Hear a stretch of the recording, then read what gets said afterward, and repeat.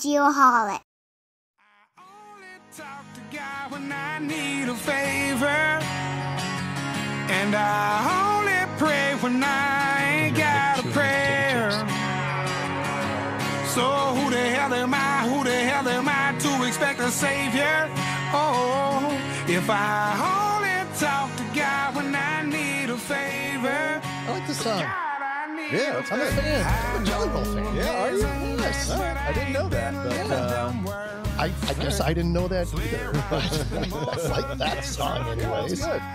Um, he's got an interesting story, that guy. Uh, yes, yes, he does. and we'll get to it here in a minute, I suppose. But um, uh, the biggest thing when I was doing some research on him is how he got the Jelly Roll name.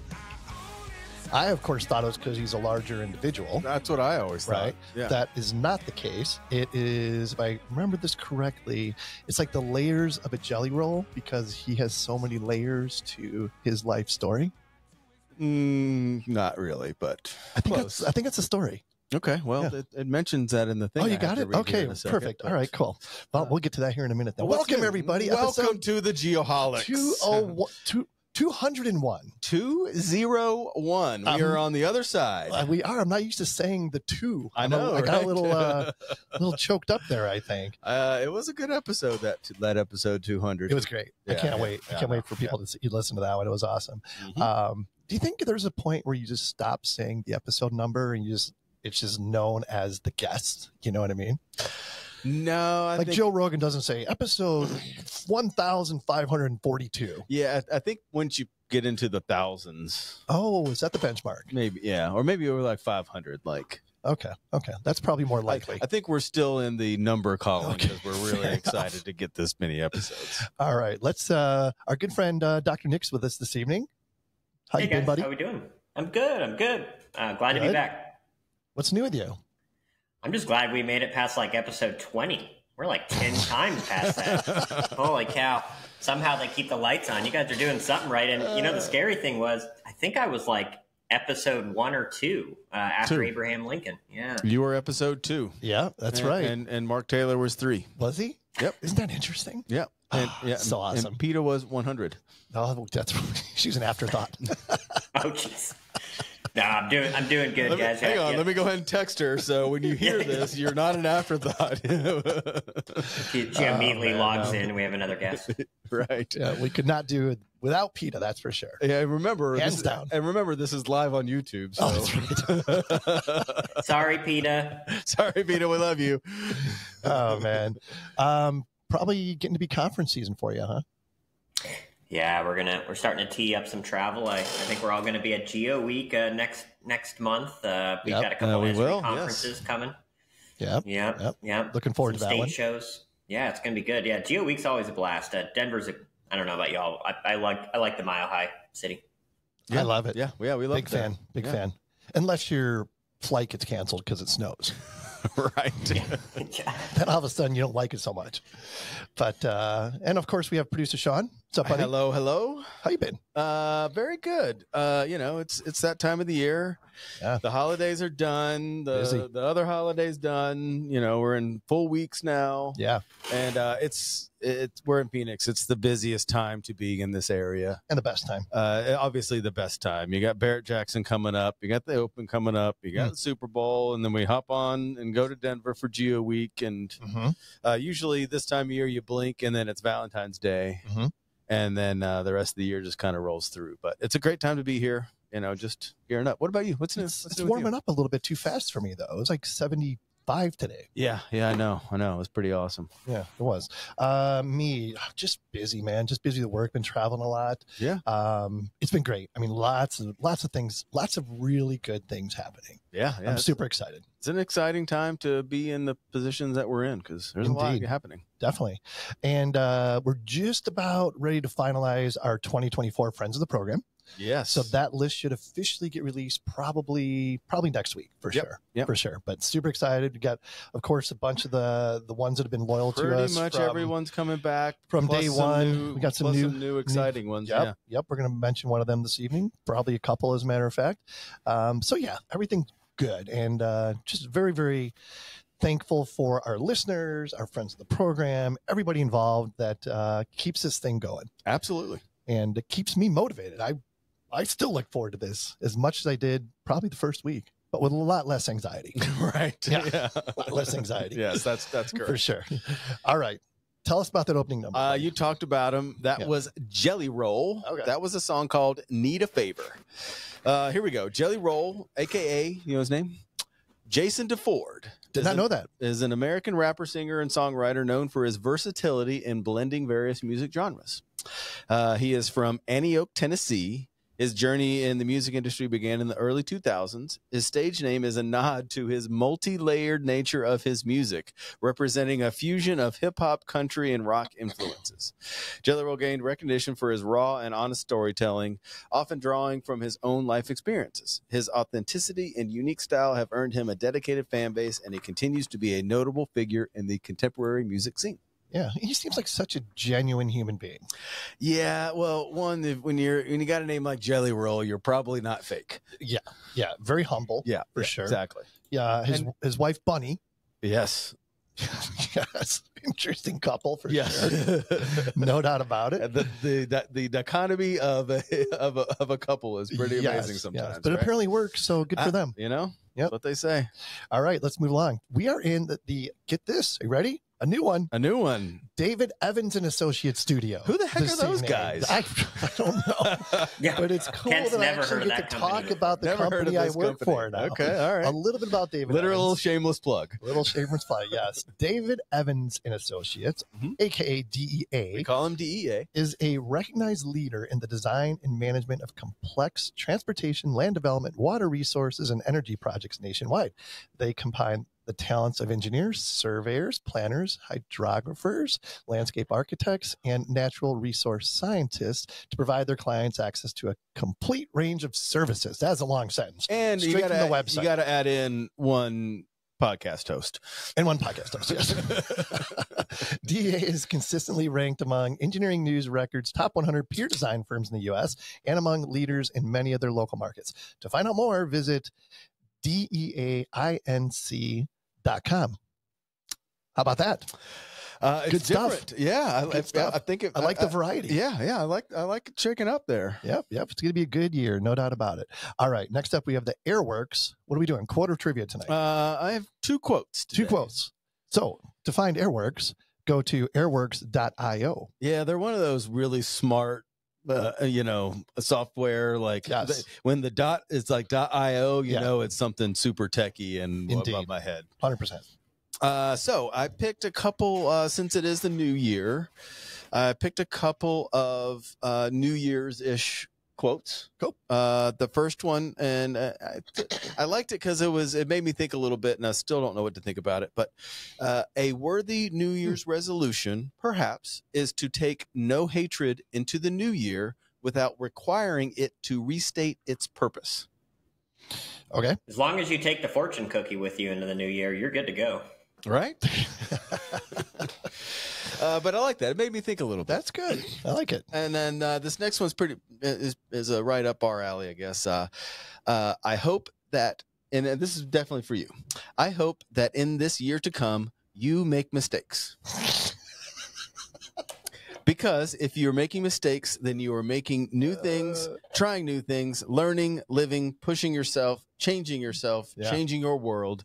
You're doing things you've never done, and more importantly, you're doing something. Mm, I think a lot of that is going to happen this year. All the above. I hope you make a lot of mistakes this year. Let's circle back uh, on Jan- January 1st next year. Okay. We'll all see how that all goes. Let me put a note in my calendar. Right. Next up, we have the GeoSearch Job of the Week. So this week's a little bit different. Uh, this week, GeoSearch, this comes from their uh, Career Corner professional pointers. Okay. So this Ah, is okay. ways to supercharge your job application. Ah, Okay. Tip like it. number one. All right. Craft a standout resume, tailor it to the job, showcasing your unique skills. Include a cover letter that highlights how your skills and experience align with the job description. Express your enthusiasm for the position. Oh, are you saying don't ask ChatGPT to make me a resume?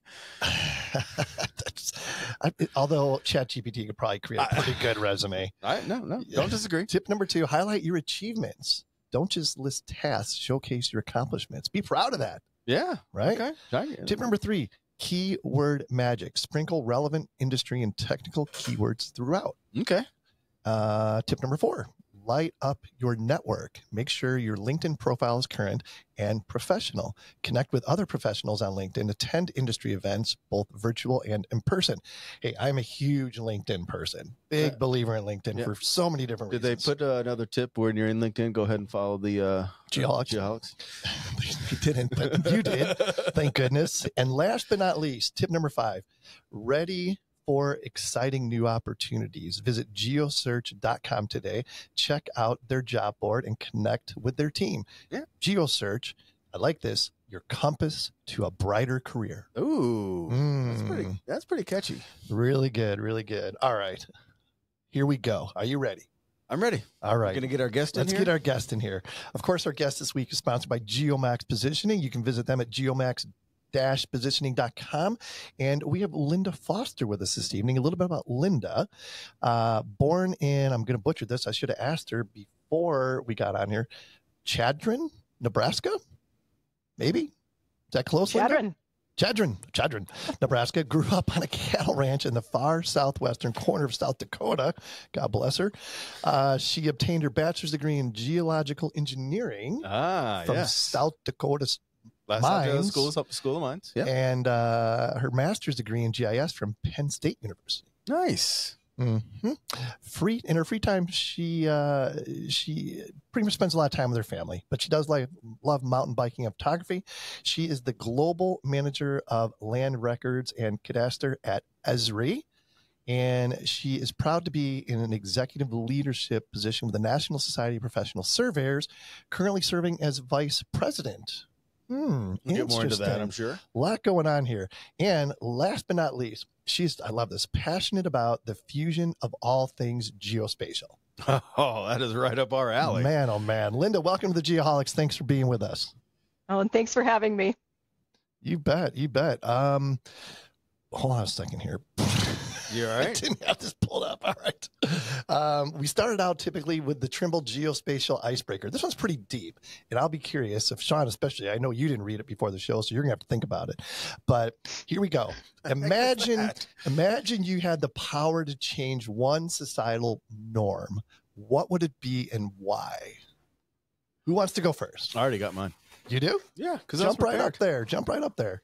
Uh, all right. Well, I'm going to steal one from one of our previous guests, Really? and uh, oh, and- not necessarily, but I, I'm going to steal the uh, I, I, I, the the quote that I still have on my board is, "Take the shame out of failure." Okay. And the societal norm is Ah, is uh, Failure's not good. The failure is not good. I like it. I like it. That's good. Way to go. Linda, you got one? I do. I, I All think I would have to say oversharing. That's that, that's just something that you know as time goes on and time Yeah. goes by and you know we're all in, in technology and we all have grown up through social media and it just Yeah. amazes me how much people will share and where they share it and how they share it.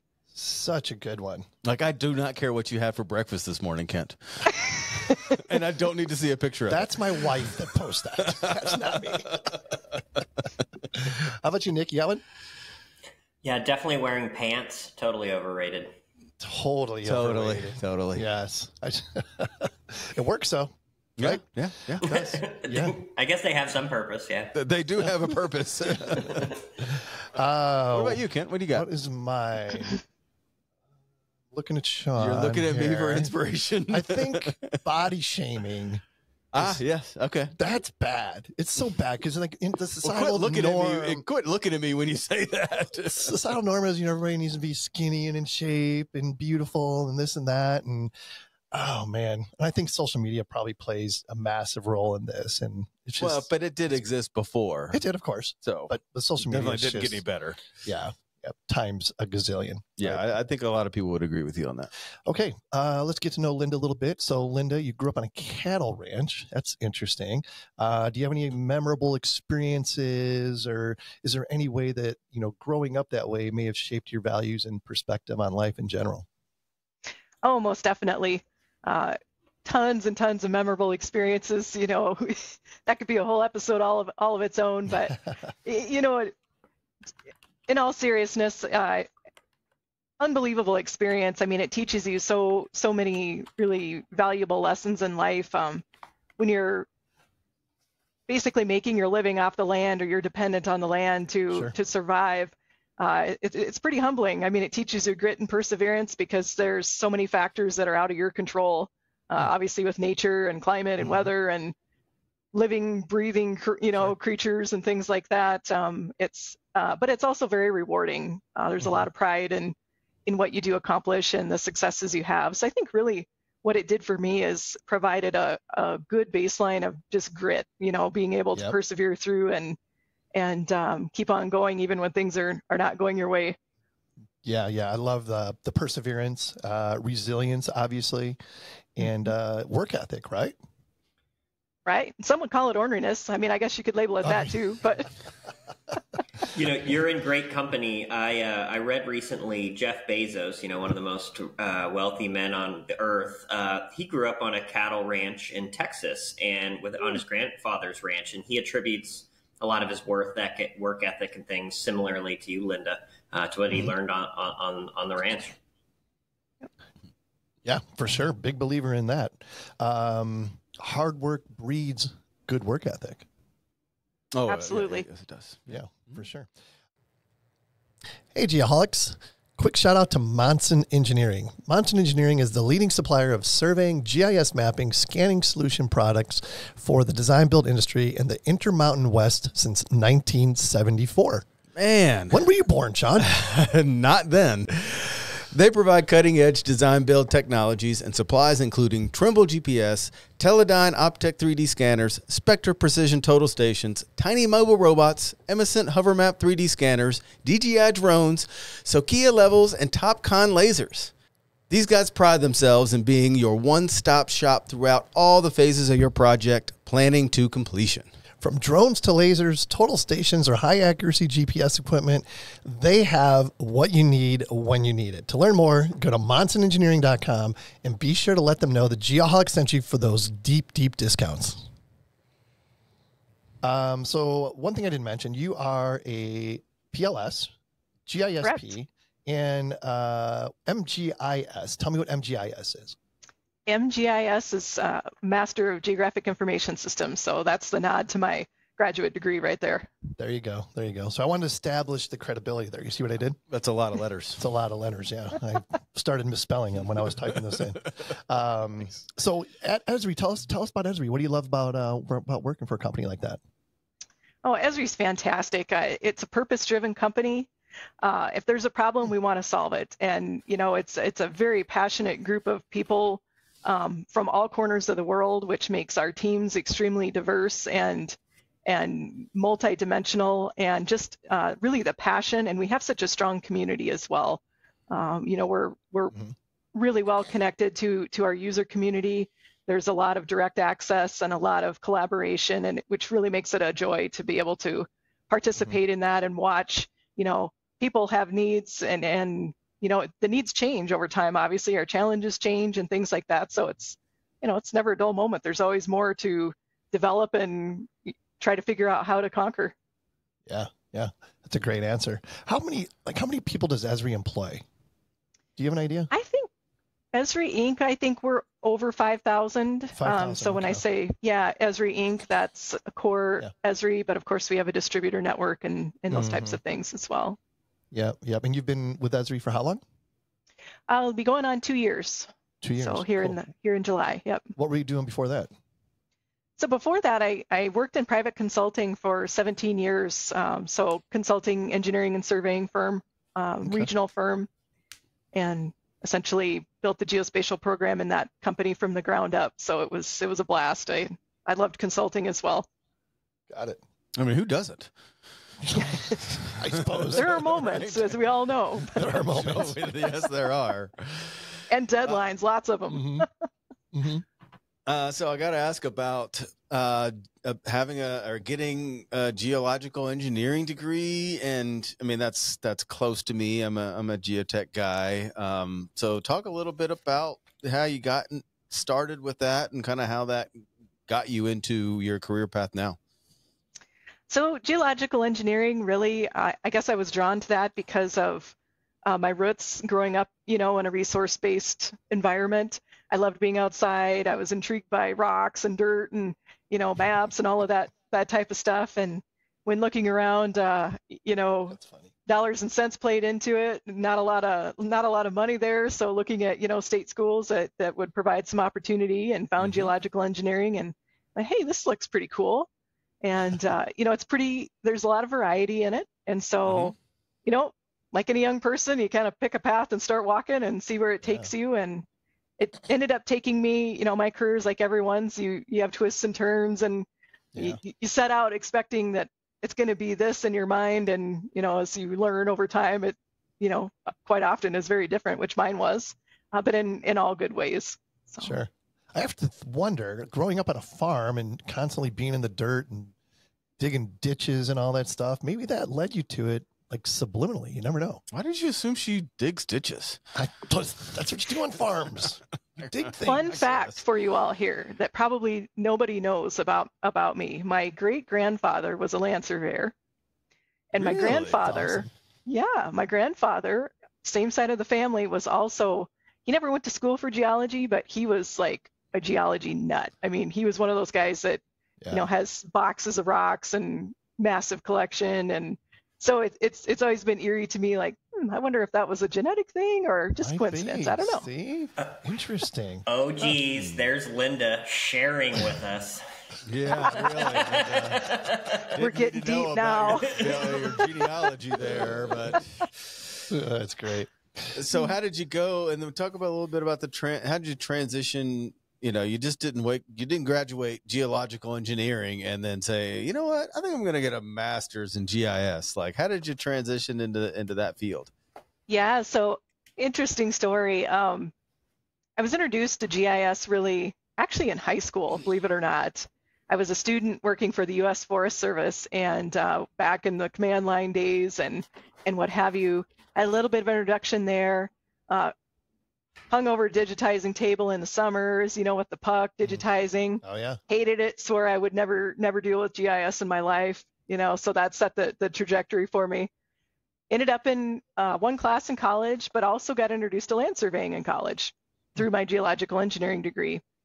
So fast forward, when I was graduating, geological engineering is of course resource heavy. You would think mining, petroleum, oil and gas or environmental. Uh, at the time I graduated, resources were in the in the gutter. Um, markets were down. Mm. Uh, hiring was not happening. and so, you know, that's where one of those twists or turns happens in yep. your career. And I always envisioned being in an oil field or, uh, you know, in a mine, working in that type of an environment. Uh, but then I ended up um, getting hired in this civil engineering consulting firm, engineering and surveying, and uh, I had done GIS through all my internships. It just kept coming back to me. Mm-hmm. Uh, you know, I just, whatever, but couldn't shake it. You know, it kept coming along. And then pretty soon I was like, started really embracing it and seeing how it could all, how it all works together, how it comes together. Because I was a degree engineer, I had the engineering background for that type of problem solving, but then also having the geospatial component as well you know, I could see things maybe a little bit differently. And so that's what really led to me launching a, a geospatial division in a private consulting firm. Mm. Interesting. Interesting. So um, we could go a bunch of different directions with this conversation right now, but let's keep it on the straight and narrow. Um, right. So I want to get a better understanding about, you know, what a day in the life at Esri looks like for you in the position that you're in as global manager of land records and cadastre? So, great question. And part of why I love my job is because it's full of variety. I, am a person that I love variety. I love change. I love different things, learning things, um, and it's a it's a fantastic position for that. As you might imagine, um, being a global position, there's been, you know, a hmm. pretty good learning curve for me, learning uh, the global nature, the global nature of our industry, wow. surveying around the world, land management, land administration around the world. Um, but it's very intriguing, and you know, really, my role is bringing industry insight in inside the company to our teams, to our our folks that are working, you know, uh, building what we build, but also taking the cutting edge technology that we're working on inside the company and bringing it back out into industry. So, uh, so we can infuse it out, you know, to all of our user communities and all of our folks that are doing the work every day. So, as you might imagine, that's a lot of variety. You know, there's all kinds of different things, teams that that I get to be a part of. Uh, obviously, events and activities and um, leadership roles, you know, in, in industry. So just just a tremendous amount of variety. Um, it's it's it's fantastic. Yeah, I mean, talk about learning something new every day. Jeez. Yes. Does does it allow you to travel quite a bit then, or? It does. I have the opportunity awesome.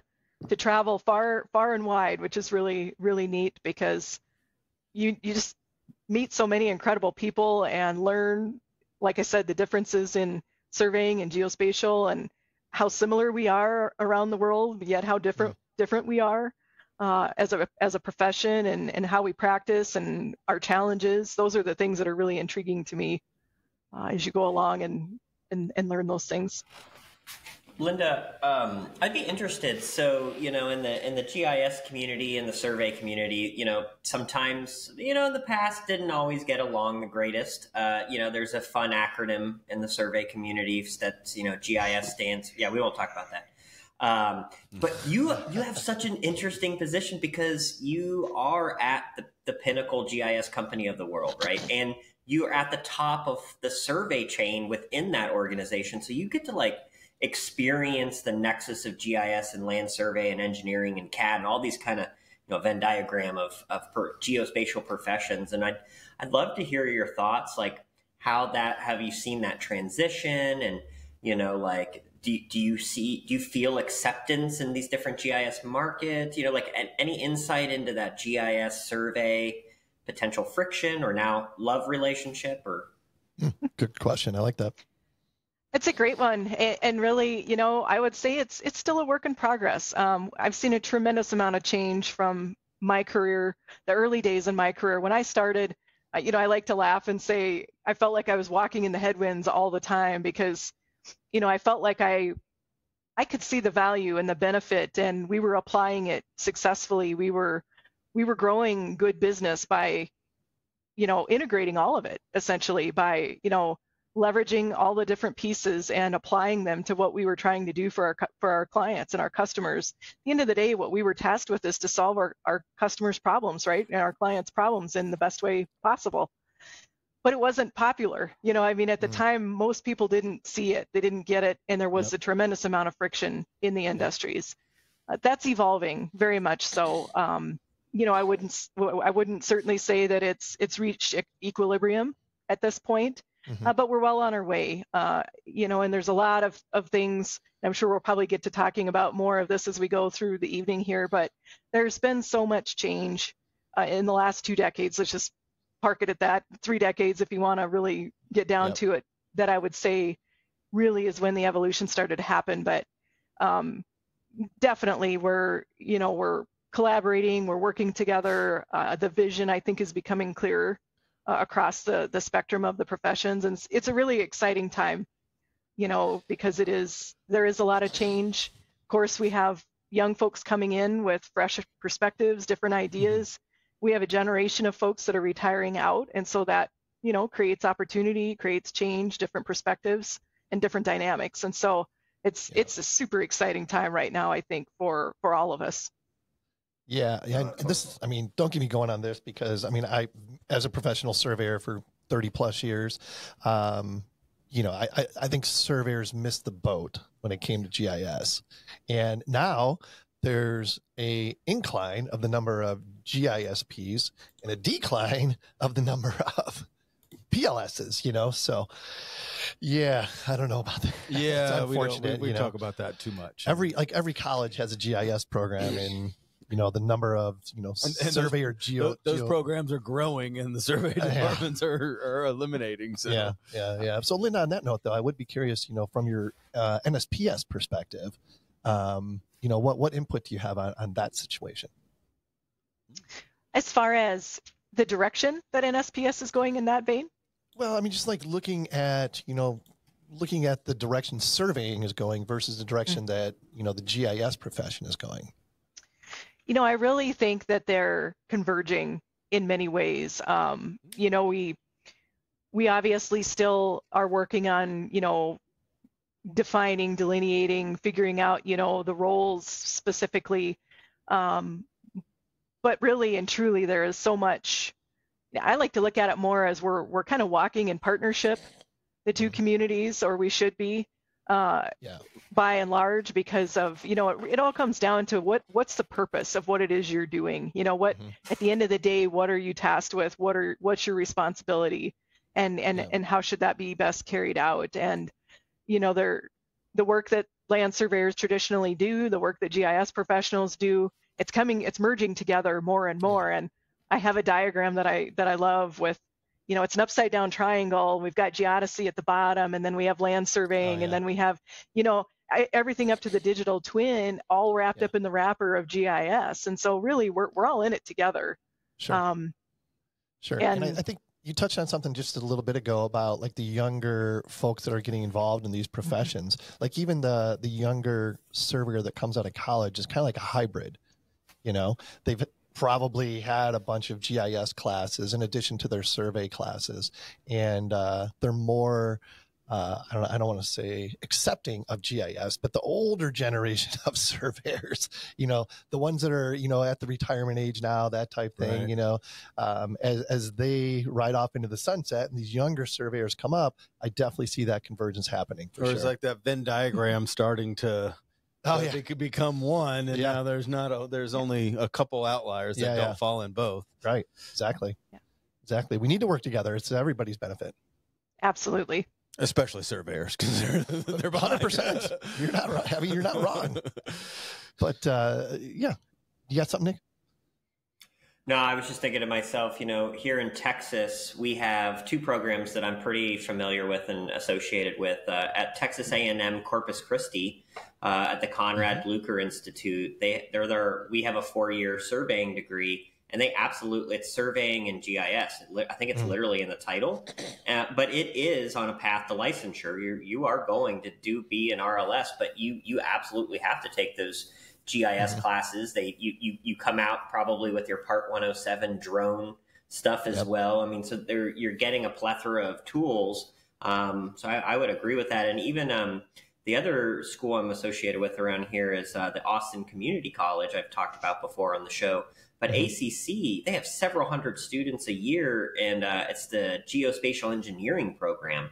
So like you can learn Ooh. CAD, you can learn GIS. It's a two-year program, and I mean 200 students a year. Holy cow! I mean, and and those students are just getting yanked up as fast as they're coming out, and so I see that fusion happening as well. Um, so just just thinking through it a little bit, but Yeah. And I No, think that that's a good point, Nik, because as with anything, you know, our industry is is rapidly changing. We're seeing a lot of change, and of course, the education institutions, you know, are in it with us as well, and they're trying to figure out how to best adapt, how to equip, you know, students for the current industry needs, and so I, you know, there's transition I think happening there as well in how the programs are structured, what they're teaching, um, you know. Some are very immersed. Some are still, I would call, more traditionally uh, survey oriented you know but we're seeing i think more of a fusion across the board in those education programs as well and i think we'll continue to see that Yep. as we move forward Yeah, you know, and the thing is, like, we're all measuring, right?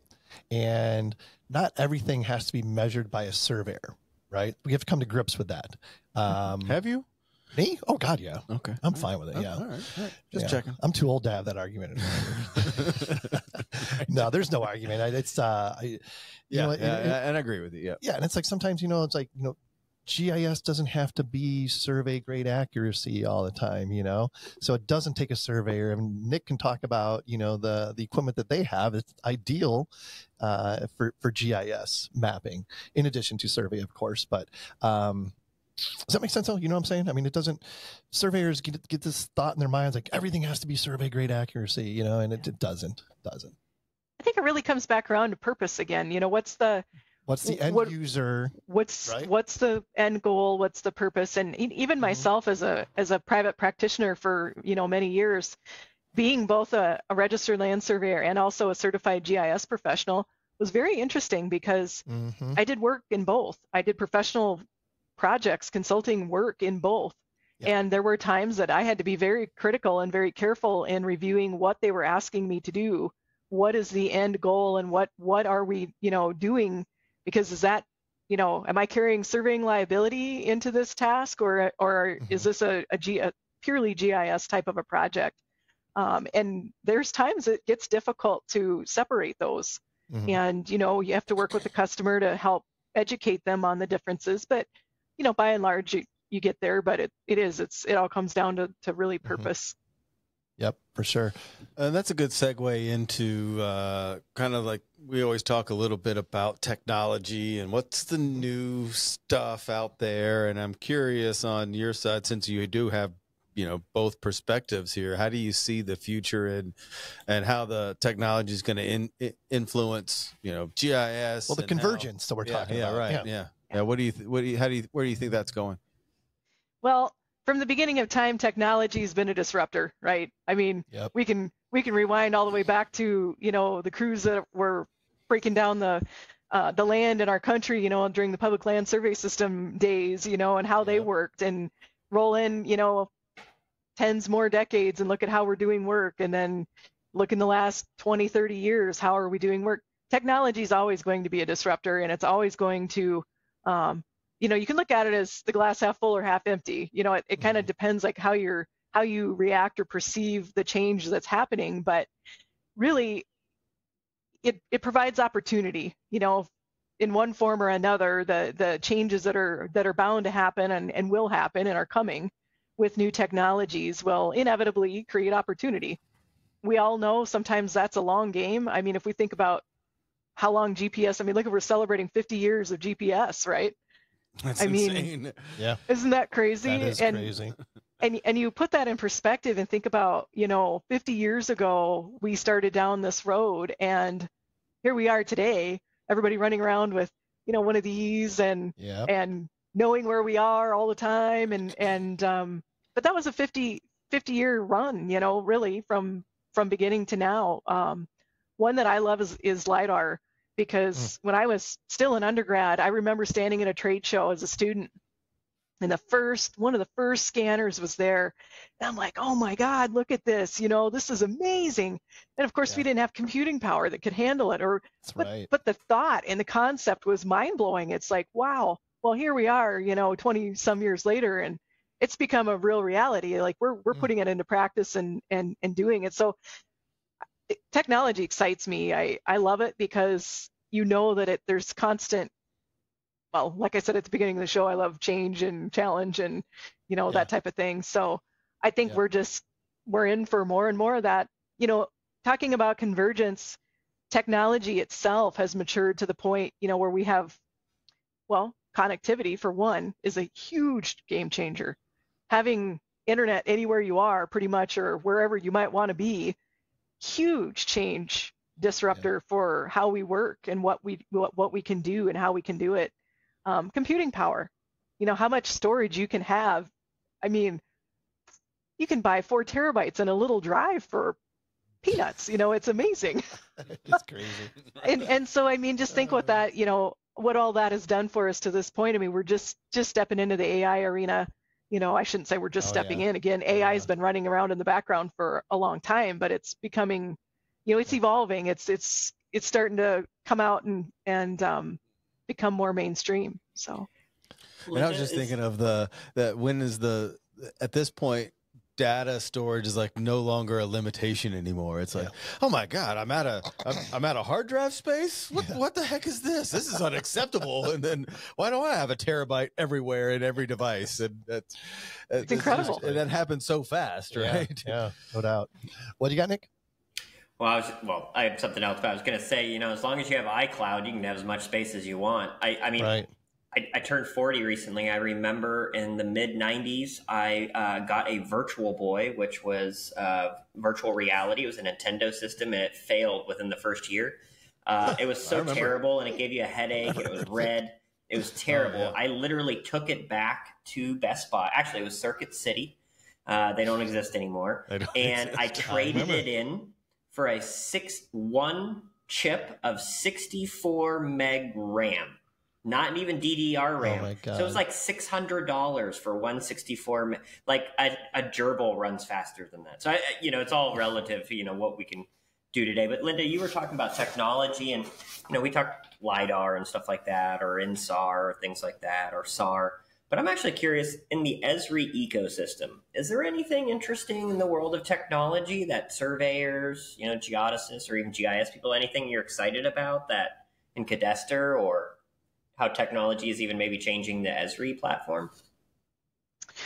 I think yes, resoundingly. I mean, all the things we just talked about are are huge um, game changers. You know, one that's that's been mainstream for for quite some time now, but continues to open amazing doors is is the cloud platform. Is the ability to have as much computing power and as much storage and as much accessibility as you could possibly want and and big data. Like what we can do with big data is just absolutely incredible. When you talk about analyzing you know i mean of course at esri we've got the living atlas and we have we have some big data. And it's just amazing that you can now it's realistic to be able to take that data and do analyses and and solve problems and and do things that we never could have imagined just simply for that one sheer fact that we have that that availability uh, you know, I think AI is going to be huge in many in many facets.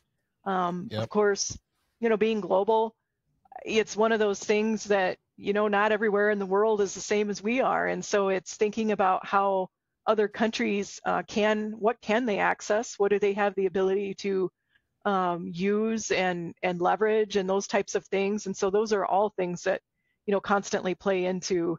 Um, you know, you can push the tech out as far as you can possibly push it but at the end of the day, you know, there's kind of that backfill of knowledge, expertise, uh, access, um, you know, those types of things that ultimately have to kind of come in and backfill. So there's always, I would say, a wide range in there of, you know, are we looking forward or are we kind of nurturing and maintaining and, and you know, continuing to, to Mm. take care of what we already have uh, available? Yeah, and I think the ability to collect data has changed significantly because it used to be you'd spend whatever twenty, thirty thousand dollars on a GPS receiver, whereas now, plug for Bad Elf, um, you know, Nik talks about the democratization. Did I say that word right? Of uh, Close enough. of GPS uh, and how that is changing things. So I'd, I'd like to hear, you know, both of you, um, what their what what your opinion of that is. Linda, please start. Yeah, you're the you're the guest. Which, what do you think? Well, I mean, short answer is yes. I mean, we have the ability to collect data like we've never been able to collect data before, um, both in quantity and I would say in quality as well. Again, that that accessibility piece has become so much clearer for so many of us now. That was never even a possibility. You know, having having VRN networks, having the ability to step out of your mm. truck and get going, you know, check into your control and boom, we're, you know, we're in. I mean, you're not setting up base stations and radios and, you know, all of those workflows and things that we were used to doing. I, it really has. And the thing that really I ponder a lot is we can measure, we have the access to be able to measure highly accurately, more accurate than we've ever been able to measure before. Mhm. Um, the downside to that is the understanding of how how to use it and what it's you know what it means. And like I said early on in the show, we're we've become so uh, from a consumer standpoint, we've become so I think used to having location in our hands. Everyone, you know, Mhm. grandma, grandpa, you know, your brother, sister, your whatever, you know, that's not in the in the profession or the industry are using their phones for spatial things every day, for Ubers, for dinner deliveries, for finding the restaurant you want to go to. It's everybody has location in their hands. But the thing that I see so frequently, uh, and, and especially when you drill up in deeper into what we all do in the geospatial arena, is a is a deeper understanding of where that location is originating and what it means. Um, that's where it starts to get interesting for me, and where I wouldn't say it it scares me, but it, it, it makes me give some pause to the fact that location, you know, is in everybody's hands. well, what does that mean? You know, well, it's it's great, it's but it it does have some some consequences too potentially. Yeah, Nik, what are You're your have to thoughts? you have to go a little further on that. Like, what what are those? What do the consequences look like when everyone has location in their hands? I turn mine off. I don't want anybody to know where I am. really. Yeah. Well, You. So- of all people. yeah. Okay. All right. I I think I can kind of address that, Sean. Maybe, maybe just my opinion, and, and for Linda. Um, so recently, I was on this uh, a discussion group called the Geospatial Connections, and I was making a plug that we have a lot of artificial intelligence and machine learning, and we have all these really neat technologies and co- quantum computing coming down the pipeline.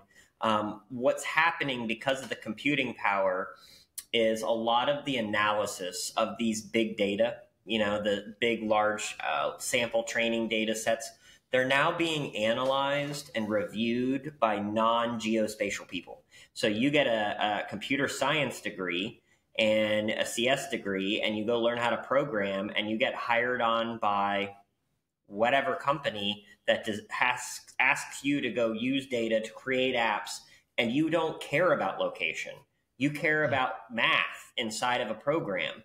So the problem becomes in the GIS world, for an example, and in learn, land surveying for some degree, we've been analyzed like geographers. Let's just say geographers. Like we've been analyzing the Earth for a long time, and so we bring a whole expertise of place and space and topology and these understandings of geodesy, but even cultural uh, geography. And I'm just afraid that if we don't stay on top of it as the geospatial professionals, people that have no business analyzing geospatial are going to do it and then what could be missed so yeah we collect all these data but but what who's analyzing it and are they making all the connections that we should be making and are they looking at it from a spatial perspective the other thing going back to your question kent was on the GPS and that democratization. I was on the horn today with what you would call it in the Esri land, like a tier three city.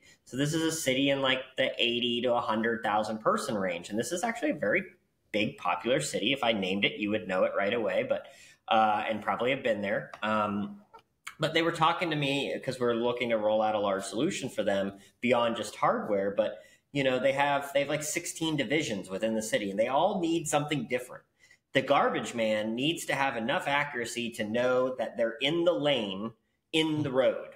The guy going and collecting the tree at a park needs to have a whole different setup.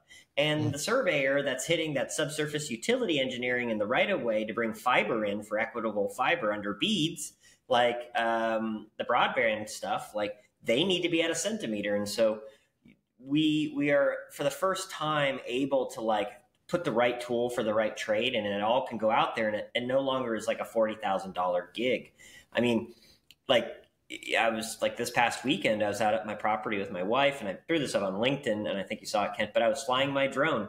My drone's like $700, you know, like, and the amount of data now, I'm like, if I fly at 150 feet, I have a quarter of an inch resolution. I can create a 45 billion points for my piece of crap property. And it's like, why? Who cares? And and then you start to look at it and the spatialness all gets wonky. But my point is for like for seven hundred dollars, you can go collect a whole lot of data, right? Um, so that I, I'm kind of digressing in the two different fronts, but I think to summarize, I would like to see geospatial people stay involved with the analysis of data that has spatialness attached to it.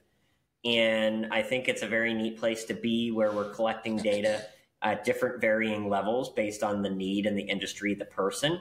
And then also we, we're collecting data in mass quantity as well. So, like the idea of a smart city where cities of the future are going to run off of location based devices and and cameras and sensors and you know everything's going to be dictated on an algorithm based on live data feeds. Um, that comes inherently with with collecting data and whether it's from a satellite or from you know drive through the city and tell me a traffic stop that doesn't have a camera attached to it mm. you know you you attach a photo recognition software to that you you could start mapping traffic patterns you you know what i mean you could you could immediately start doing so many things so it's an interesting place i mean I think Linda, you've talked about, you know, we're in this kind of fusion of all geospatial things all of a sudden. Mm. And it's just a neat place to be. It is. So where does it go? Okay, so we're going to fuse all these things. What do you who's, see? Who's going to yeah. be the grand poobah of geospatial data? Who's that going to be? We might be talking to her, but I'd vote for Linda. I'd vote for Linda. totally. Yes. Uh, but uh, you know, so we know what the you know, you know, Nick did a really good job of, of talking about what what you can do with some of that fusion. Yeah. Where do you uh, assume that we're fused? Yeah. What yeah. do, what do you think that? Where, where are we like trying to get to? Right? Yeah. Yeah. What do you think that looks like? And you, I believe, have a very unique perspective on it.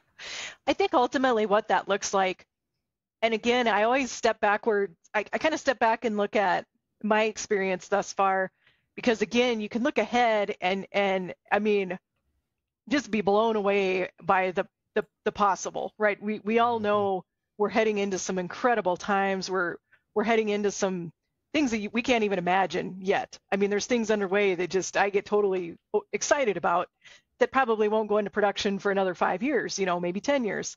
Uh, but that being said, and by the about, way, I wanted some specifics on those after you get done speaking. But please, please he's like, I need to go buy some stock in these companies. he's got Robinhood up and he's going at it. gonna dig, gonna dig one bite at a time. So but yeah, so it, it's an interesting thing because if you, you know, where I think we're we're all headed is how do we better manage our built and natural worlds at the end of the day? Because you know, you, you just go all the way back in time for surveyors, you know, from the beginning of time. Think about how much we could survey as human beings with the, the tools we had. Yeah. It took a long time to survey. And I mean, I, it blows me away when I retrace, you know, as a land surveyor, the, the PLSS um, notes of, the, of those those crews and those surveyors. It absolutely blows my mind what they were able to do and how much ground they covered. But put that in perspective versus, you know, what we know we can do now from a data collection standpoint. But one thing that I like to to kind of think about, and I think is something we really need to work on, and that is data is really spatial data to me is an infrastructure. It's it's a critical hmm. infrastructure. And you know, okay, here we are in this time in our in our country where we're investing like we've probably never invested before in new infrastructure. We have a unique opportunity right now to capture digitally that asset as and to me that's every bit as much important as it is putting that pipe in the ground or paving that highway or whatever it is you're doing in the hmm. project and in the past, we've always kind of looked at those in bite-sized pieces. You know, we did a project, we shelved it. We did a project, we shelved it. Oh, we as built it. Well, that's red pen on a set of plans, right? So where it's headed, I think, is is systems upon systems that can talk to each other and that we can look at in broader perspective rather than go into one public works department for instance and start digging through their records maybe that's in filing cabinets we're doing better. We're getting a lot of that out of filing cabinets and maybe scanned. we have a lot of we have a lot of investment locked up in paper still in in and in the generation that's retiring we have so many individuals who worked for decades in the same agencies and that knowledge is up here and it's retiring yeah. it's walking out the door and so we're losing a huge amount of our legacy information or knowledge um, about our world about our built world uh, in those types of things, we have an, an opportunity to recapture or to capture that and do a better job moving forward. That's not an easy problem to solve because technology is very capable, but there's a lot of people, a lot of policy, a lot of systems and things that have to be in place. But I think ultimately where we're headed is, you know, comprehensive systems of systems that can talk to one another and that we can that we can easily access and make better decisions with. I mean, at the end of the day. And, you know, I've always had a thought about, you know, all the data that it, like I said, is locked up. Think of the value for those of us that have worked in consulting. Think of all all of the time you spend on the front end of a, say, a design project. Where do you go? You go pull legal records, you pull land records, you pull easements, deeds, you know, every job you do, you start over and you do you you go through the same pattern, the same process.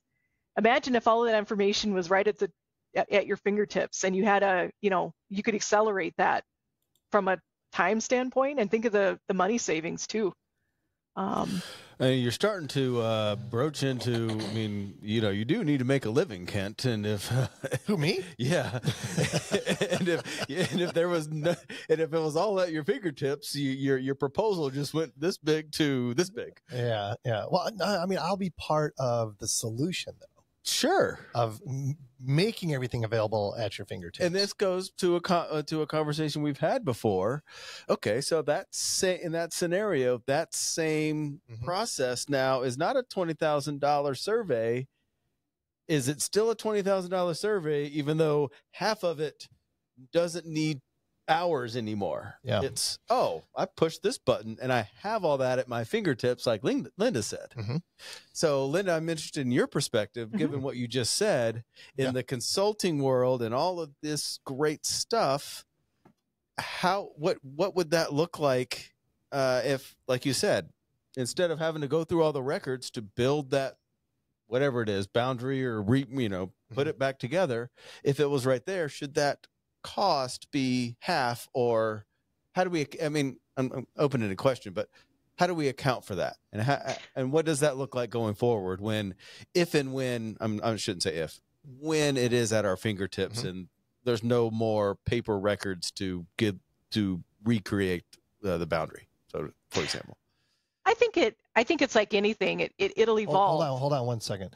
That was the longest question ever. i know i'm working Ever. on, i'm working on my long questions i, I but, but please Sorry. Go ahead, Linda. I forgot what was the question. But just kidding.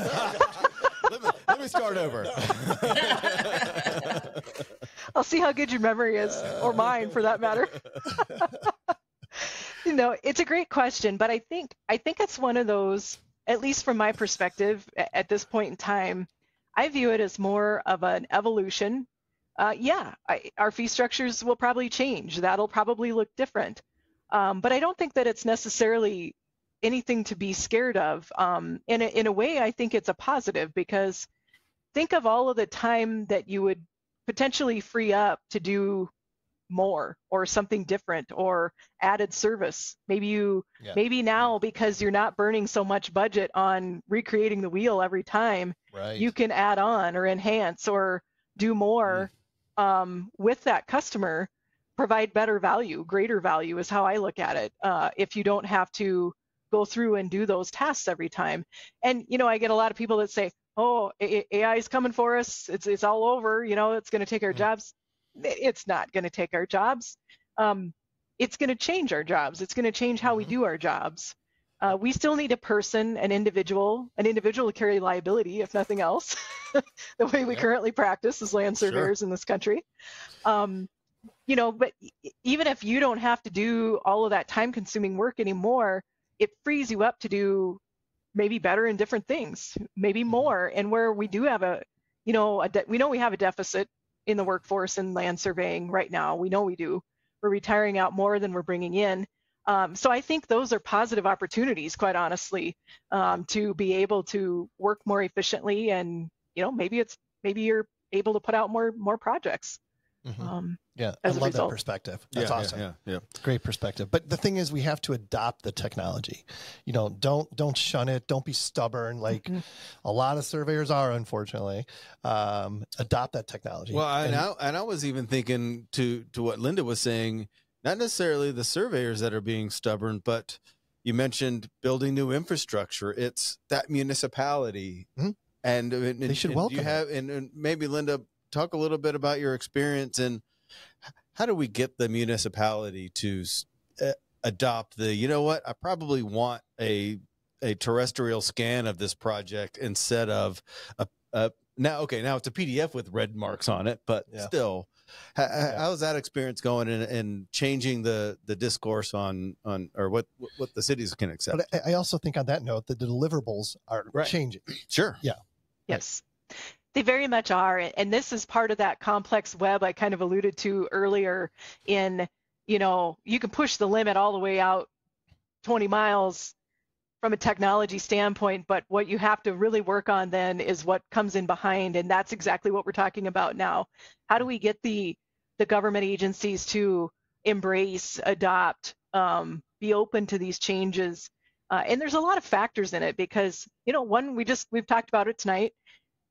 Aging workforce. You know, Mm-hmm. what generation of individual is in a decision-making role, perhaps in that agency or organization?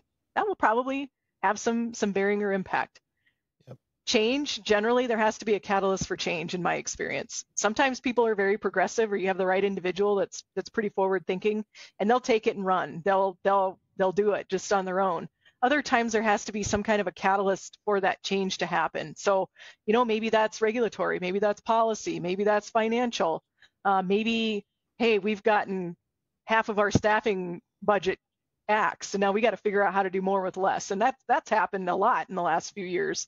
People are all of a sudden going we cannot physically do all of the work we need to do. We have to Mhm. find a way to do it differently Right. and so those are all things that, that play into it. And one of the things that's intriguing to me from a an as building perspective, for instance, you know, that's a piece of this that when you look at how a an infrastructure project gets built from cradle to grave, you know, when you are out on the front end planning and then you're Mhm. surveying it, then you're designing it, then you're bidding it. Well, we're seeing a lot of change in how that's even happening. You know, we're we used to be design bid build models in our in our projects. That was how I came up through the ranks in, in building projects. Uh, then, you know, when I was getting later in my consulting career, things were starting to change to design build. So we're we're we're stepping up the pace. We want to move these through faster. Uh, you know, construction manager at risk type Mhm. contract models were starting to come in. What that does is it changes how the pieces of the um, project get done. And so think about how it, where did as building always fall traditionally? On the contractor generally, right? Quite often. There's a very specific contracting mechanism that kind of drives how that gets done and who does it. Um, those are t- those are things that will have to shift or change. Uh, and I think we're seeing it now with just the, like I said, the, the contracting mechanisms even in our industry are, are changing. And that will, I think, inherently help probably um, encourage these, you know, these delivery mechanisms to evolve into something, Mhm. um, you know, more, more modernized, if you will. Yeah, yeah. You, you mentioned like cloud, you know, the cloud infrastructure and collaboration connectivity. I see, you know, a lot of deliverables now instead of having to, you know, print out your 24 by 36, you know, and, and roll it up in your, your case and roll down to the city. You, you can submit these things online, your review process online. Like you mentioned, it's, it's speeding up the whole, you know, A to Z soup to nuts uh, Mhm. process. It really is. And, you know, the other part of that, of course, comes back around to liability. And that's something that we're, you know, I think as an industry, we're still working through. When you submit a set of plans, you know, there's something physical and static there. You know, you can lock it up with a bow, stamp it, sign it, seal it. And, you know, whether that's a PDF or that's a, a roll of paper, you know, what have you, there's, there's some finality there to that product. I think we have to, you know, we're shifting how we're thinking about that. And when you deliver digital data and you carry liability as a land surveyor, design professional, uh, how do you ensure that data, you know, how do you lock up that liability, if you will? How do you um, keep that, um, Mm-hmm. You know, integrity intact, if you will? And so, you know, the industry is really working hard on that right now and figuring out, you know, I envision a time when whoever is doing the construction observation perhaps is in the field. Um, maybe they're doing the as-builting while they're out there, you know, depending who has the, the contractual obligation. That. Well, Yeah, what she said. We've talked that's like about that. Yeah. the, the democratization of scanning, right? Because Mhm. the cost of scanners are coming down to the point now where anybody can have one, right? Just why not set up a scanner and do your thing, right? Yeah. and, and I mean, it could be the surveyor. You know, they they're doing the as-builting for them. They're standing there with a connection. They could be sending that data back to the to the customer in real time, and then it would probably sit like in a version for review, or you know, it would need to be reviewed and approved, obviously, but Mm-hmm. um, to go through its its checks. But I think we're you know we're there in in the capability. It's figuring out how do we you know contractual obligation, liability, all of those things that go along with with how we do work. Yeah, and it's like who's going to be the trailblazer? You know what I mean? Well, to- and and I mean, we all want to be the trailblazer, but there is a point of of uh, equity. You know, it Mhm. it still needs to be equitable for all of the consultants to be able to provide as built for a government agency. Mhm. And if all of a sudden the government agency is like, you know what, I'm only going to accept a cloud a point cloud file from a terrestrial scan for as built going forward. There you go. Well, that just locked out. uh, You know, Yeah. Twenty percent of the consultants. Well, I can't afford that. Yeah. or they're not right. ready. But but some people would think, okay, that's a good thing. But Yeah. are you really being equitable for the community as a whole when the one guy in his garage still needs a sh- the same shot as the other guy? Yeah. Yeah. That and and this just came up recently. Of I I want to. Uh, A, lot of the shift in liability is from that construction observation person Hmm. onto the surveyor to as built something that is really the inspector's job. But Yeah. the inspector wants the measurements, and I can only as built measurements. Yeah. But I can as built, uh, but I can verify something was installed. Yeah. The surveyor as built measurements, and that's supposed to all come together. Sure. And that gets shifted around to Yeah. the city saying, no, I want the surveyor to tell me that is per the the detail. Yeah. Well, I can to a point. Yeah. And what will eliminate all of that is scan the whole thing. You want to know how wide the road is at any one spot? You got it. You got it. Right? Why not? But then how do we get from where we're at now, where like That's what I'm Linda's saying. saying, the technology is definitely there. Mhm.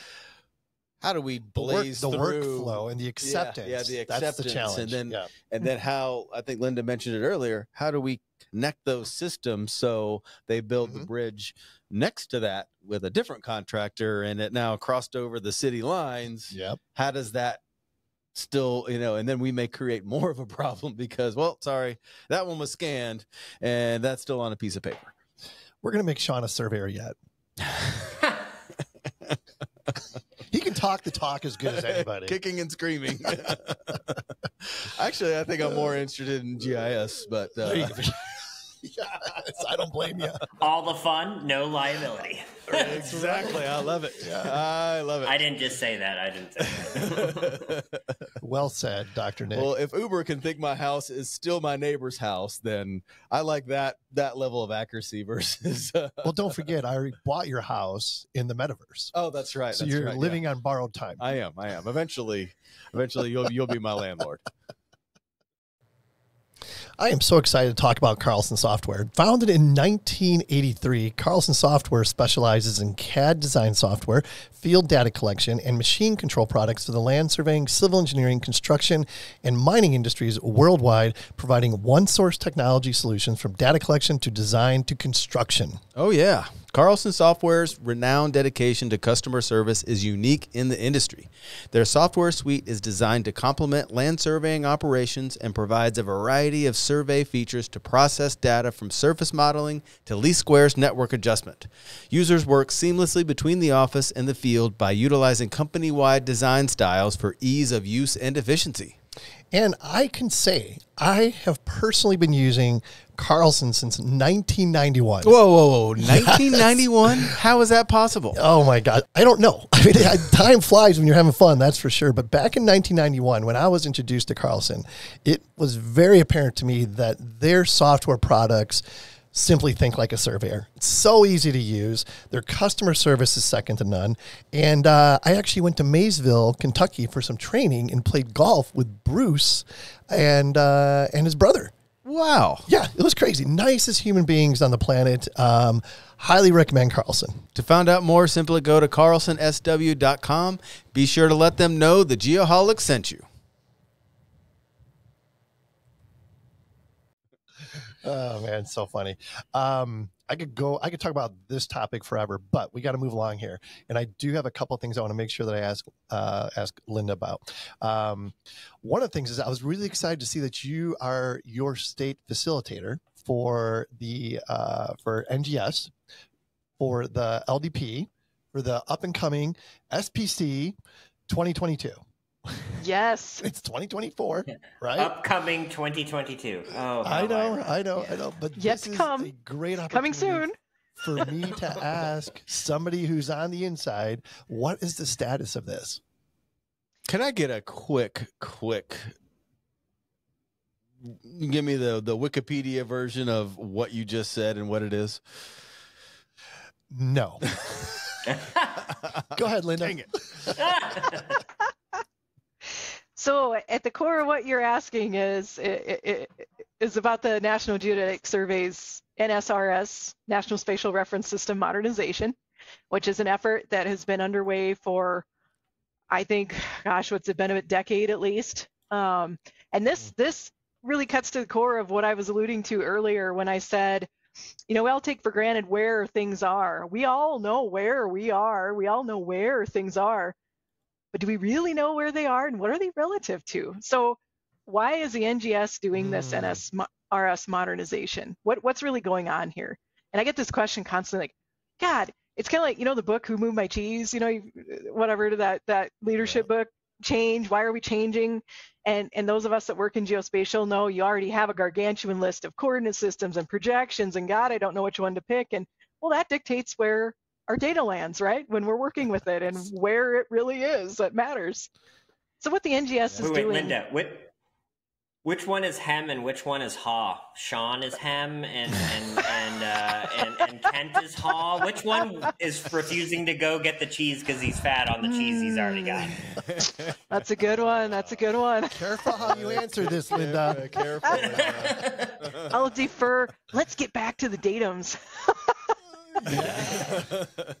so yeah, so what's really going on here is um, as everything that we've been talking out talking about tonight is about evolution it's about fusion it's about convergence uh, the same is said for you know we really we have from a, ge- a geodesy standpoint in our country we have uh, essentially a framework that we work off of. You know that when we go out in the field with our gnss our gps what is it you know relative to what's it based on when we are mm. working in state plane coordinates what is that based on? Well, what's going on right now is that the current datums we're working on, um, there's a bit of a, you know, a bit of a, a shift, if you will. So it's not truly centered, you know, on, it's not Earth centered, Earth fixed, if you will, for simple terms. Um, and when you think about satellites, what are satellites using as their control point, quote unquote?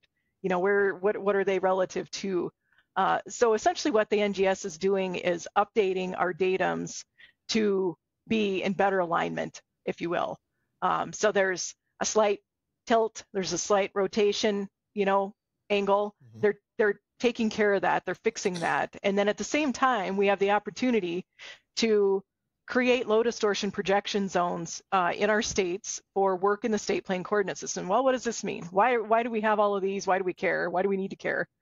Um, and and so for those of us that have worked in infrastructure, worked with the design side of things through through time, uh, really um, going to a low distortion projection, you're trying to get that scale factor down to one as close as you can get it. Yeah. You don't want any distortion. Yeah. That's the goal. You don't you don't want to have the contractor have to apply a scale factor when he's building something.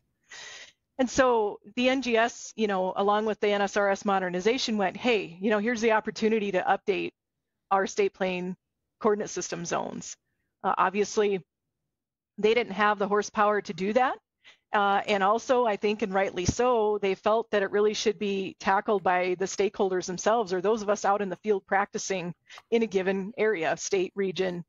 Um, and so, huge undertaking. I mean, my hat's off to the NGS in yes. in in taking this on because absolutely um, amazing amount of work that went into this, each state that's participated. Um, so from my state's perspective, when this started to come around, I went, man, you know, we would be really, um, we would be really remiss to not jump on the wagon and try to participate right now.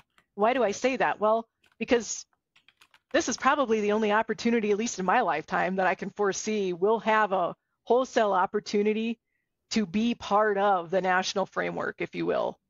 Um, and so what does that mean? Well, you can create low distortion projection anytime. I mean, there's states out there that use them now locally, you know, they're using them. What it means though, by participating with the NGS is that all of the vendors, my company included, the big rigs that everybody's relying on and using will have those definitions in the in the software and in the hardware and they'll be standardized and they'll be accessible and it's a little bit scary because we're going from something like what 160 some to 900 and some odd zones Yep. last I heard across the, Yep. the country. Um, but yeah, so really that's the reason that I was motivated to do it is I saw a small window of opportunity for our state to participate in this and improve how we work. Um, especially from a design and construction standpoint, our DOT was a huge champion and part of of us getting this moved forward in our state. But like I said, surveyors will be practicing against this for you know, like I said, probably probably the rest of my lifetime or career. Yeah. Um, Yeah, no, I, I think the uh, the end goal is amazing, and you know, getting that point would be incredible. And you mentioned the number of zones. I think in Arizona, it's like forty zones, maybe we're up to, or something like that. And that's just because our state has a lot of relief in it, right? Yeah. Um, but I think Right. I think some of the flatter, you know, center of the country type states probably. I don't know. You could probably speak to that, Linda. I mean, the number of zones aren't nearly that much. our state's 26 and you know we're the eastern side of the state's relatively flat we have the black hills Yeah, area uh, of course yeah, that has yeah. a pretty substantial amount of relief in it but Yep. uh, yeah we're, we're 26 zones is where we ended up Yep. with our designs And how many did you have uh, prior to this uh, this modeling? Two. Oh, really? we had a north a north zone and a south zone wow. Well, that's. I Oh. mean, Arizona only had what three, right? Oh. East, west, central. So, um, So, Linda, do you get a sense if if you had to put an over or under and make a bet, throw a hundred bucks into the ring, when do you think it actually gets implemented? Jokes aside. So, from my experience, and uh, you know, I've been pretty closely uh, involved with it. Where the process is right now is like for us, for instance, we have finalized design. So those parameters are, you know, essentially we ju- we actually just finished the final the final check um, of our our designs. Now, the NGS has released, I believe they released it back in July, the alpha site. Uh, so you can actually go out there right now and check out every state's um, alpha zones, if you will, the parameters, the um, the zone boundaries, where they are, what's going on in your state. And I would cur- encourage everybody to do that. It's it's in Yeah. GIS. It's a web GIS app. And you know, one of the questions I get all the time is like, "Oh, we've got all these zones. How am I going to know what zone I'm working in?" Um, right. that app you can pull up on your phone, hit your location services, walk out your door, and you can see which zone you're standing in. I mean, you know, it's it's a pretty cool, you know, we have Yeah. tools and ways today that to, to deal with some of these things that we we wouldn't have had in the past. And so the NGS is doing a great job at trying to get it out there. Um, my fear is I think people are still in that, eh, it's not out yet, whatever. I'm not going to worry about it or think about it. Let me know when it's actually final.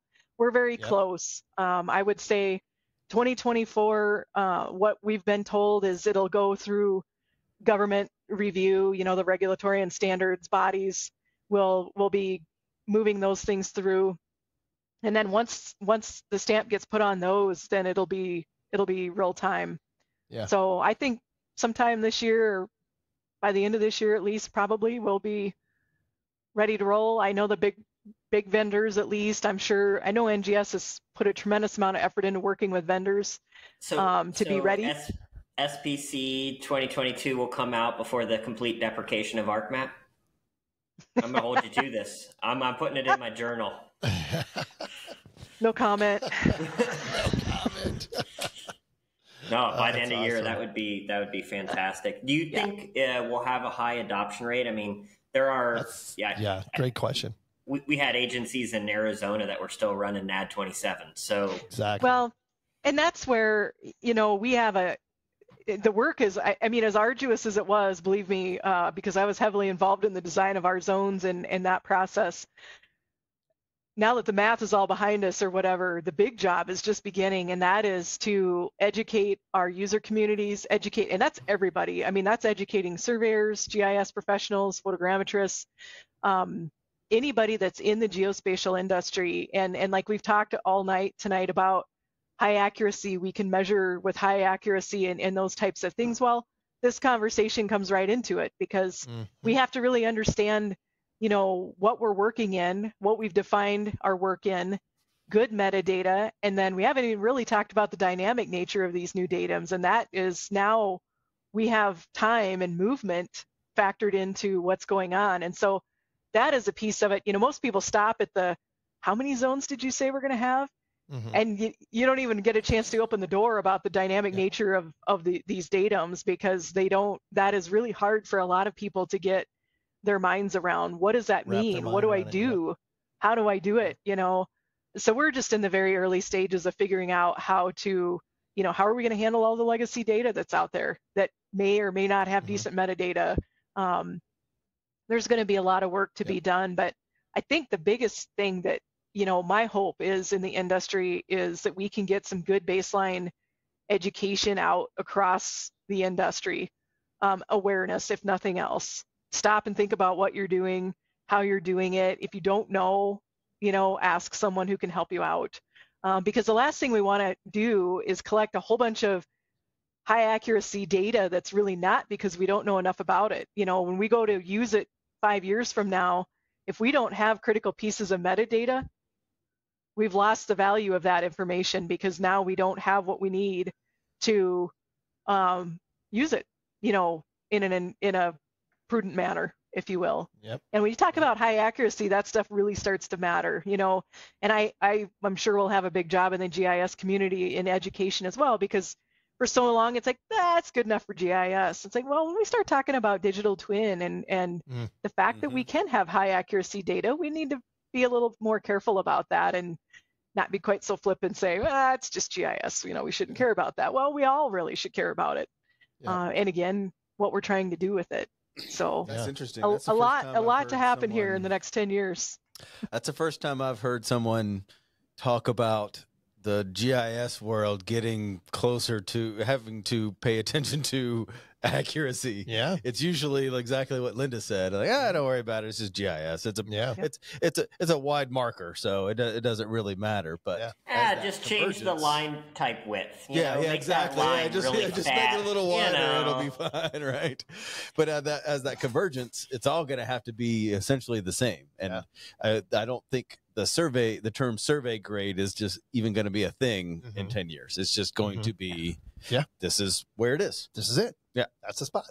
And i i have uh, a a term i like to say you know the high cost of underutilized data. I want people to think about that because high cost of under the high cost of underutilized data. I like so that. if we're not so careful true. in how we collect our data and how we document our data i mean that's fundamental 101 of anything, surveying, GIS, you name it, is good metadata. And if you if you don't do those very simple tasks, you've eroded the value um, of that data. And and there's a high cost to that. And it kind of circles back to what we talked about earlier. Uh, you know, repetitive, constant having to handle, deal with, research, pull the same information over and over and over again. You know, it's the same thing. If you go out and collect data and you intend to put it into a system for use years and years into the future, but it doesn't have the right metadata or enough metadata, really it's it loses its value. Yeah, yeah, man. That's a great point. Really, um, really is. We're running a little bit long here, but I do have one other question I want to ask you about. Um, sure. So you wrote an article, "The Power of Not." I was wondering where that came from, and I read it today, and I thought it was genius. So I would like for you to talk about it just a little bit. So that really just, you know, I don't know, I guess maybe I had too much time on my hands over the holidays or something, decompressing, I don't know. But just, you know, and reflecting back across my my career and thinking about uh, I, am a different duck. I mean, I'll admit it. I'll read the magazine well, you're backwards. A surveyor, so you know, I that explains I, that. Kind of contrary, anyway. But just reflecting on how did I end up where I am? Because as you guys can see, you know, I, my journey's been interesting, I guess, to a degree. Winding, as I would winding, winding, and yeah. uh, really and truly, it, it's very simple. I can look back and go, it was all it was all decisions, um, and our lives are all decisions. Each one of us, that's that's our journey, mm-hmm. that's our path and it's how you look at those decisions that I've reali- come to realize really is where a lot of power is held. And I've often been one that went, why not? Why not try this? Why not give it a shot. You know, maybe it'll be painful and and fail and and especially in the consulting world or in earlier in my career i mean i'm a curious person and so i like to tinker i like to try things out i like to push the envelope and many many many times through my life i mean that i've been met head on with the why why are you doing this why would we do this why mm-hmm. should we do this why why why you know and i was like why not what do we have to lose you know if obviously you have to weigh that but that's that's where the power of not comes from. You know, add the not onto why when you're asking that question. Yep. I love it. Why not? Oh Let's yeah, do it. that is right Why up our alley. I love it. All right. All right. Hey, that's all I got. What do you guys got? Well, I I have to, I always ask this question, and I think you just said it. Uh, so I'll ask it, and you can say it again. Uh, do you have a mantra that you live by? oh boy. And, and is it why not? No. Okay. My family my family would say I have one and you'll have to wait for me to die and let them carve it on my tombstone to find out what it is. But no, in all seriousness, in all seriousness, uh, it'd probably be uh, till you can't. I, I've always been a person that's, and that's a little bit cliche. You know, there's a song, Cody Johnson song, "Till You Can't," but it's really, it's the way I've always lived, and it's like, well, throttle to the floor until you can't anymore. You know, I mean, you keep going in a direction until you can't, and then you change and adapt, and you keep going again. Or, or I bet maybe Linda's pretty fun on a Saturday night. I'm just throwing it out there. yeah. in a nerdy sort of way, right? Hey, that's okay. That's all right. We're gonna process some mad data on a Saturday night. Until we can't. Until we can't. Until the literally the computer blue screens of death. Takes the edge off of designing LDPs. That's great. Oh, it sounds like so much fun. Uh, what about you, Nik? What else you got? Anything? No, I think this was great. I really like the discussion on the the future coordinate system. You know, it's it is it does pop up quite a bit. You know, in my travels. So hearing and Linda, you talk about it pretty positively. You know, not and every in some shadowy corners, it's not as positively spoken about, but it's it's nice to hear the other side of it, and it is exciting because at the end of the day, it's going to make the entire system better. Yeah, is it going to Mhm. be hard? And is it like you mentioned, technology is disruptive. Uh, yeah, you know, just random side tangent. I saw the other day. Did you know in Rome they had a point of beginning point that in the center of Rome, all measurements on every Roman map went back to that central POB point, that one monument. I thought that was so cool. That's two thousand years old. So awesome. if they could figure out a datum two thousand years ago, we we got this. So, no, Linda, I really appreciate you coming on and uh, keep. And if keep- there's keep if the- there's a keep that positive note to end on on coordinate systems, I would say this. The coordinate system modernization is what's going to allow us to get to that vision that we talked about of cohesive systems of systems being able to talk to one Yeah. another. Uh, I liken it to language. You know, if you're sitting in a room with someone who speaks French and Spanish and German, well, you have to know what each other is speaking in order to translate it. And you know, it's the same thing in in spatial sense as well, and and that will help us all, quote unquote, be in this on the same page and able to talk to one another spatially. So Nik, I got a I got Well a said. suggestion for you. Um, when you have those conversations with the naysayers saying In the dark corners? in the dark corners, like, why do we have to change this again? Just simply say, why not? There it is. Except my wife's like, "Why are you in the dark corners? What are you doing over there? That's where I hang. That's right. Why, Why would I not be in the dark corners? Because I got to bring light. No, that's great. That's awesome. Yeah, no, Linda, thank you so much. This has been a great conversation. I Absolutely. have really, Yeah. really enjoyed it. Thanks for Um, having me, you guys. It was it was a pleasure. You bet. We'll do it again for sure. Sounds great. All right.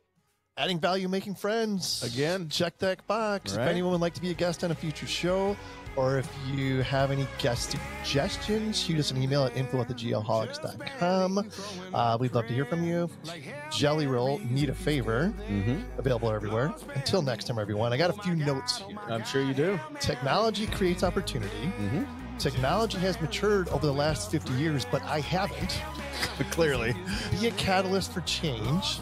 Think about the high cost of unutilized data. Go from why to why not. And most importantly, as always, be safe and healthy.